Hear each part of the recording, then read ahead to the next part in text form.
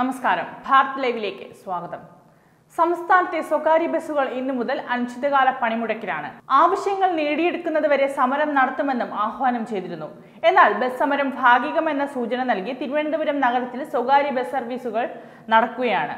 അതേസമയം സ്വകാര്യ ബസ്സുകൾ കൂടുതൽ സർവീസ് നടത്തുന്ന മറ്റു ജില്ലകളിൽ സമരം ജനജീവിതത്തെ സാരമായി ബാധിച്ചിട്ടുണ്ട്. സംസ്ഥാനത്തെ സ്വകാര്യ ബസ് സമരം അനാവശ്യ നീക്കമാണെന്ന് ഗതാഗത മന്ത്രി ആന്റണി രാജു മാധ്യമങ്ങളോട് പറഞ്ഞു. ട്രേഡ് യൂണിയനുകൾ അവരുടെ സമ്മർദ്ദം കൊണ്ടാണ് അവകാശങ്ങൾ നേടിയെടുത്തതെന്ന് വരുത്തി തീർക്കാനാണ് ശ്രമിക്കുന്നത്. അതിന്റെ ഭാഗമായാണ് ഈ സമരവും. ചാർജ് വർധനവിന്റെ നടപടിക്രമങ്ങൾ അന്തിമഘട്ടത്തിലാണെന്ന് സമരക്കാർക്ക് അറിയാം പക്ഷെ ഈ പരീക്ഷാ സമയത്ത് ജനങ്ങളെ വെല്ലുവിളിച്ചുകൊണ്ടുള്ള സമരം ശരിയാണോ എന്ന് ആത്മപരിശോധന നടത്തണമെന്നും അദ്ദേഹം പറഞ്ഞു. ചാർജ് വർധനവ് സംബന്ധിച്ച് സർക്കാരിന്റെ തീരുമാനം വൈകിയെന്ന് പറയാനാകില്ല. ഇതിനെല്ലാം കൃത്യമായ നടപടിക്രമങ്ങളുണ്ട്. എല്ലാ മേഖലകളെയും ബാധിക്കുന്നതിനാൽ ഓരോരുത്തർക്കായി വേഗം വേഗം ചാർജ് കൂട്ടാൻ കഴിയുന്നതല്ല. പൊതുജനങ്ങളുടെയും വിദ്യാർത്ഥികളുടെയും എല്ലാം ഭാഗം കേട്ട ശേഷം മാത്രമേ അന്തിമ തീരുമാനമെടുക്കാൻ കഴിയൂ.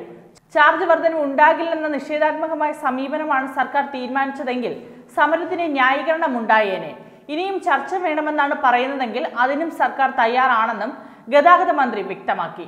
ബജറ്റിൽ കെ എസ് ആർ ടി സിക്ക് തുക വകയിരുത്തിയപ്പോഴും സ്വകാര്യ ബസ് മേഖലയെപ്പറ്റി അവഗണിച്ചതിലും ബസ് ഉടമകൾക്ക് അമർഷമുണ്ട്.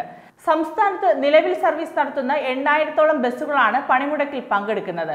മിനിമം ചാർജ് പന്ത്രണ്ട് രൂപയാക്കുക വിദ്യാർത്ഥികളുടെ കൺസെഷൻ ചാർജ് ആറ് രൂപയാക്കുക തുടങ്ങിയ വിവിധ ആവശ്യങ്ങൾ ഉന്നയിച്ചാണ് ബസ് ഉടമകൾ പണിമുടക്കിലേക്ക് എത്തിയിരിക്കുന്നത്. കഴിഞ്ഞ നവംബറിൽ സമരം പ്രഖ്യാപിച്ചെങ്കിലും മന്ത്രി ആന്റണി രാജുവുമായി നടത്തിയ ചർച്ചയെ തുടർന്ന് സമരം പിൻവലിക്കുകയായിരുന്നു. ചർച്ചയിൽ ആവശ്യങ്ങൾ അംഗീകരിക്കാമെന്ന് പറഞ്ഞെങ്കിലും തീരുമാനം അനന്തമായി നീളുന്ന സാഹചര്യത്തിലാണ് വീണ്ടും സമരത്തിലേക്ക് കടന്നിരിക്കുന്നത്.